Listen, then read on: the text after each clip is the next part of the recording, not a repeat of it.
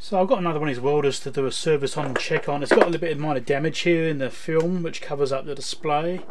Also notice these cables got some witness marks on them where they've been pinched in the case. There's one there for example. You know, in here where it's been caught in this lip here where they've had the cable probably like that through the case and have closed it, that kind of thing. So these cables all got minor damage on which is quite disappointing. Um, you know, just someone not taking care. There's a nice one there. Doesn't appear to actually be cut, but the fact there's witness marks isn't good. You know, there's someone not taking care of it. Anyway, I'm taking this out, taking the screws out from here, and I'm gonna take the circuit board out. I'm going to give it a clean out as well, clean the box out because you get debris behind it and all sorts of stuff. You don't really want anything floating on the board. So I'm going to take the board out probably to get to that back of that display that's down there. So I can put some tape or something across there and maybe build up as something just to reinforce it again so it's not getting pushed down. If I can get it so it's sitting up higher maybe it can um, not be susceptible to damage. I just want to try and get it waterproof again basically. Just put some tape underneath it. So hopefully I can do it from the other side without too much trouble but uh, yeah I to get nut driver on this, take this board out. It shouldn't be too bad. I'm going to take out the case first and clean the case out and get the case out of the way. You see the debris floating around inside there. You don't really want that. Getting in there, could get some bits of metal, all, all kinds of stuff. Who knows what's in there. Yeah. Well, I have lifted the board out and there's a lot of dust and stuff on here and there's also a lot of debris even around that window there and then this flex where the flex goes through here. This flex is for the LEDs and the push buttons on the front panel. So yeah it's been got getting a lot of stuff sitting in there. And yeah it's definitely needs to go clean. So anyway I've got enough space there to actually put some tape over that completely to protect that so that's good. And I have to see what I can do about maybe lifting this up a little bit because it does just plug in. Um, I don't know it's not really yeah there's not really much there for that though. So I have to see if I can do something to bring that out to make it support that.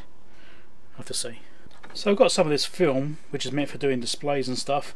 So it's not particularly thick but I'm going to cut up some out and put it in there. It might just help it very slightly. At very least it'll help protect the display.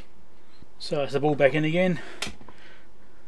So it's at least watertight again now so not like it really matters with the outside being like it is but it can get rained on, splashed on, that kind of stuff, you know, when it's being worked on because it's used outside.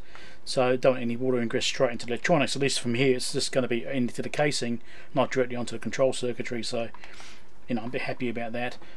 Now, next thing I'll do is test it out and see if it actually works. Well, I've got my test rig set up here. 20 ohm resistor, which simulates the fittings this is used on. This is set up for AC volts. This actually is manual range it so we can get a faster readout. We'll turn this on.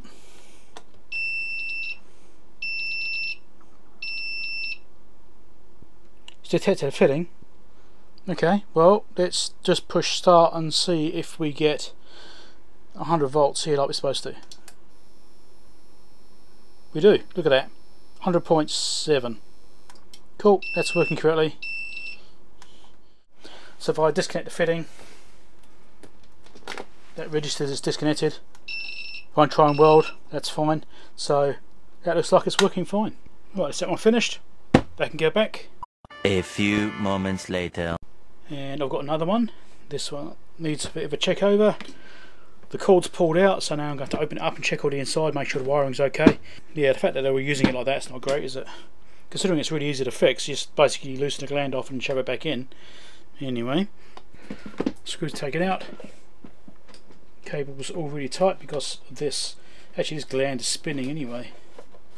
Yeah so I did it was a little bit tight when I went to go and move it then it moved. So yeah if someone was taking care they could have done it. There we go. Just make sure that all this cabling and stuff is okay inside here. Then we'll test it so the cabling comes up here. It's got this insulation here just precaution. Make sure the cables are in there nice and firmly. These are like spring clips. They push in and lock them there's no screws. They all look okay. No issues there. Cool. So it's just sorting this gland out. I'll leave some slack inside the box as well so if it happens again at least you've got a chance to catch it. Yeah, anyway, I'll sort that out then we'll test it. Right, it's back together. Let's turn it on. Okay, self-test. Looking good. It's got a fitting there, it's detected a fitting. Let's try it. 100 point, no, 101 volts. Cool, that's working alright too. Excellent, easy fix.